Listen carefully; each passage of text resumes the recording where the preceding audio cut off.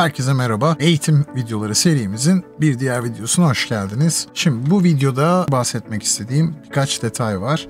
Profil kısmına geldiğinizde 5 ayrı lisans klas var. Bunlar oval, oval disiplinine geldiğimizde de IndyCar ve NASCAR araçları gibi oval pistinde dönen araçlarla ilerleyebileceğiniz bir kariyer söz konusu. Sports Car, Mazda'dan başlayıp GT3'e oradan LMP'lere, LMDH'lara ulaşana kadar ilerleyen bir kariyer.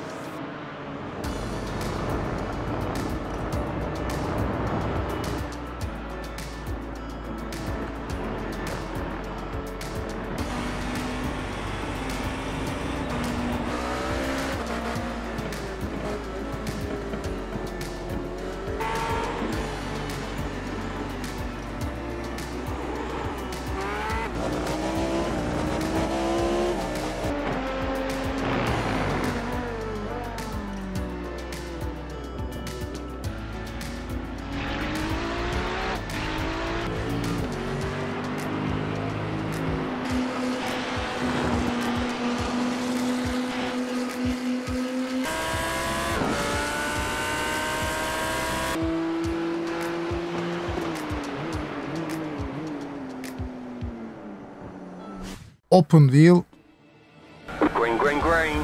Open Wheel kısmında, Formula kısmında adı üstünde açık tekerlekli Formula tipi araçlar ile elde ettiğiniz puanlarla ilerlediğiniz bir kariyer.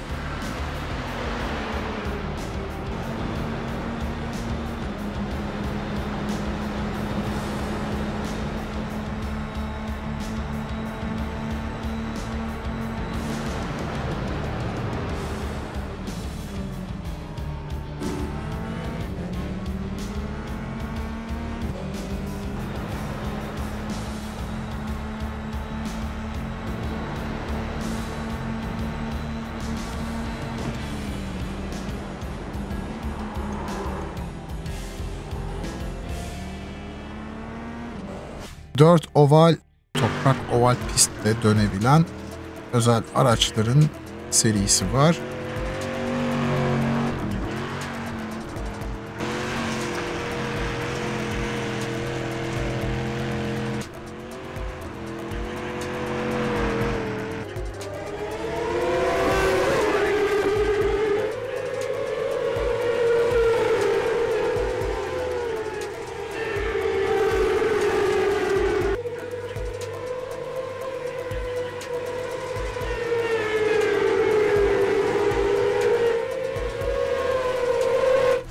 Dirt Road Offroad araçları ve Rallycross araçları var.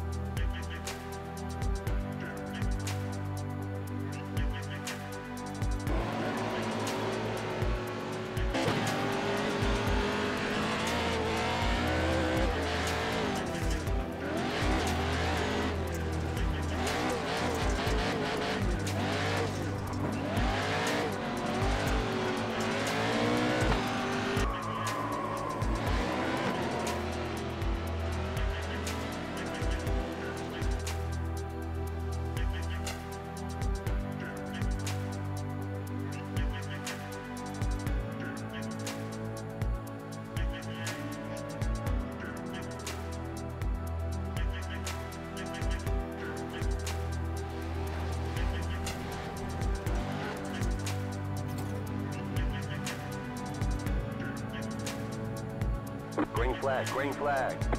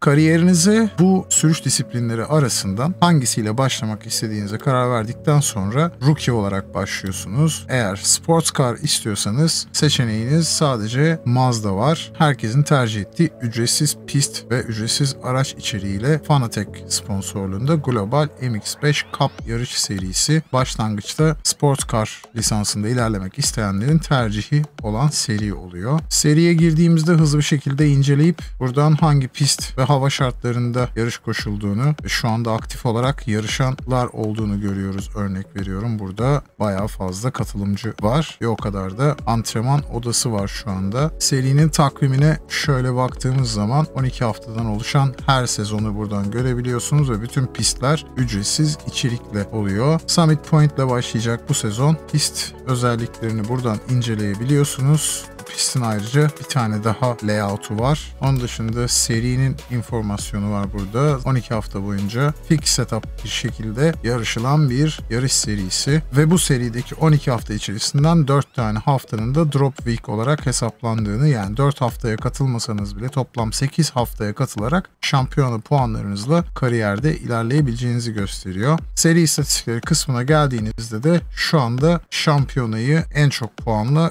kimin lider götürdüğünü gösteriyor. Sezon daha yeni başladı. Bir hafta koşuldu. 8 start alıp 7'sini kazanmış bu arkadaşımız ve buradan topladı 221 şampiyona puan ile 1 puan farklı şu an şampiyonayı lider götürüyor. Kendiniz de bu şekilde takip edebilirsiniz. Tabi burada division durumu söz konusu. Bu arkadaş 7547 i rating'e sahip. O yüzden Division 1'de Division'lara sezon başı sahip olduğunuz i rating'e göre sahip olursunuz. Rookie başladıysanız Rookie Division'ını seçerek buradan rookie'ler arasında en çok puana sahip olan vatandaşı görebilirsiniz. Buradan 5283 kayıtlı insan arasından 25 sayfada ilkini gösteriyor. Toplam 25 pilot gösteriyor burada. Buradan da inceleyebilirsiniz veya club olarak Türkiye olmadığından dolayı maalesef International seçmiş oluyoruz genellikle. International sürücüler arasından nerede olduğunuzu da buradan inceleyebilirsiniz. Tabi arada yine kendi ülkesi olmayan başka yabancı isimler de göze çarpıyor ama büyük çoğunluk Türk oluyor bu listede genelde. Kendinizi çok daha kolay bulabilirsiniz.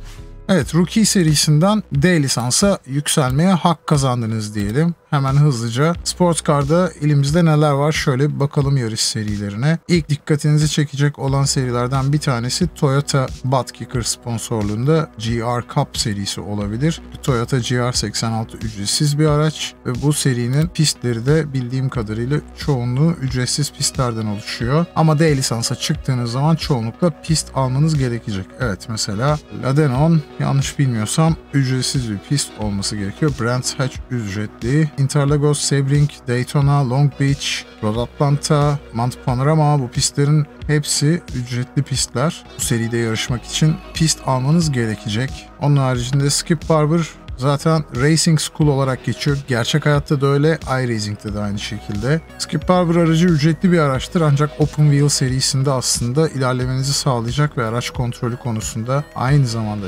race pace dediğimiz yarış temposu ve yarış becerisi konusunda size çok şey katacak araçlardan biridir. Bu yarış serisinde takvimine geldiğimiz zaman Brands Hatch, Mid-Ohio, Suzuka, Zandvoort, Mount Panorama, Jerez, Detroit bunlar ücretli pistler. Bu seride de hem araba hem de pist satın almanız gerekecek. D lisansta en çok tercih edilen araçlardan biri olan Ferrari 296 GT3 aracı ve bu serinin takvimine şöyle bir hızlıca bakarsak bu sezon için Algarve yeni çıktı bu pist ücretli bir pist. Ben de daha henüz almadım. Sebring ücretli, Virginia yeni ücretsiz oldu. Motorsports Arena, Mugello yeni gelen pistlerden biri bu da. Geçen sezon gelmişti. Laguna Seca ücretsiz pistlerden, Long Beach ücretli, Alton Park ücretsiz, Misano yeni geldi bu da. Bende yine yok. Bu ücretli bir pist. Okayama ücretsiz ve Motorland Aragon yanlış bilmiyorsam bu pistte ücretsiz pistler arasında olması gerekiyor. Yani bu seride de 12 haftayı tamamlayabilmek ya da en azından 8 haftayı tamamlayabilmek için birkaç tane pist ve Ferrari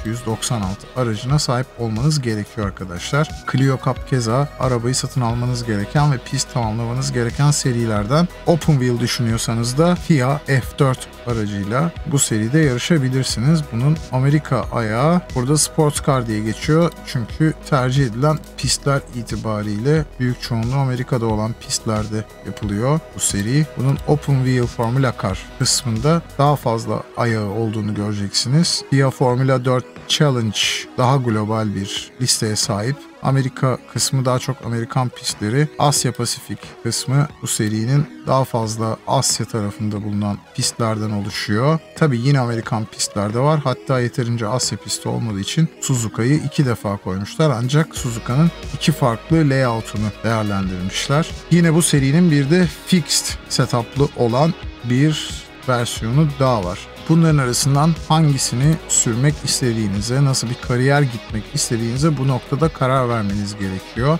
Ücretsiz içerik olan Ray FF1600 aracıyla bu seriyi de takip edebilirsiniz. Bu seride de yine ücretli pistler de var. Sebring, Brands Hatch gibi. Hockenheim Ring keza öyle. Imola, Long Beach Bunlar ücretli pistler ama bu seride 8 haftayı aslında ücretsiz pistlerle tamamlamanız mümkün görünüyor bu sezon. Yine Formula 4'ün Avrupa serisi var. Avrupa serisinde daha bilinen Formula 1'den tanıdığımız pistler var. Red Bull Ring gibi, Barcelona gibi ya da Zandvoort gibi, Magny-Cours gibi. Bunlar Formula 1'de de koşulan pistler arkadaşlar. Tabii her sezon aynı pistler gelmiyor. O yüzden bir kere aldığınız bir pist belki de 2 sezon sonra tekrar karşınıza çıkabilir. Biz çoğunlukla tabii sports car üzerinden gidiyoruz. Oval için ayrı bir içerik daha olacak. Orada detaylarıyla üstünden geçeceğiz.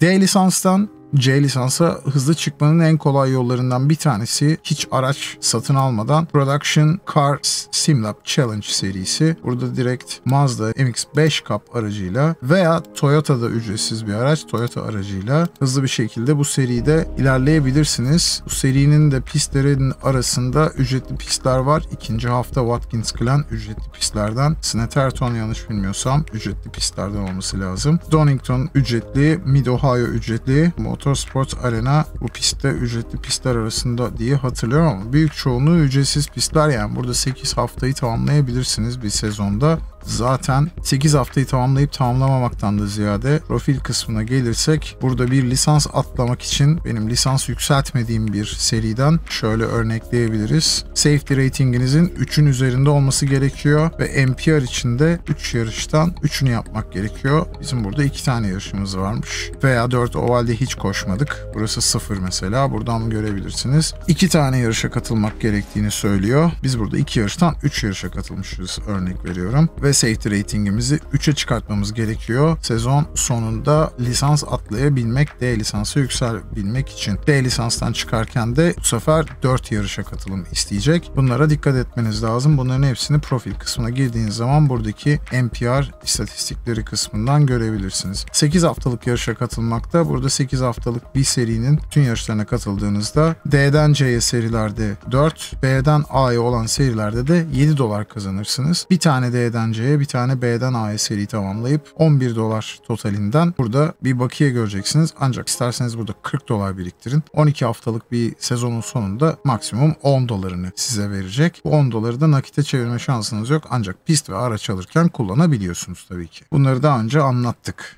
D lisanstan C'ye çıkmak isteyen arkadaşlar için tavsiyeler az çok bu yönde. Kariyerinize şekil vermek için buradaki anlattığım yollardan birini seçmeniz gerekiyor. Production Car Challenge uzun yarışlar ve multi-class seriler olduğu için burada farklı araçlar aynı anda yarışıyor. Bunların en hızlısı Ford Mustang bu arada. Bu araç ücretli bir içerik. Ben de satın almadım. ihtiyaç duymadım. D lisanstan C'ye çıkarken bu seriyi kullandım açıkçası. Burada bol bol yarışa girdim. Olaylara karışmadan finish görmeye çalıştım. Zaten multi-class ilk tecrübe olduğu için giriş seviyesindeki reytinge sahip pilotlar çoğunlukla yarışı tamamlamakta bile zorluk çekiyor. Birbirlerine geçiş yaparken nelere dikkat etmek gerektiğini tam bilmediklerinden kaynaklı. Burada ciddi problemler yaşanıyor. Siz eğer farkındalığınızı yüksek tutar, olaylara karışmadan finish görmeye odaklanırsanız bu seriyi kullanarak çabucak D lisanstan C'ye yükselebilirsiniz arkadaşlar. Burada Mazda ile antrenman yaparak kariyerde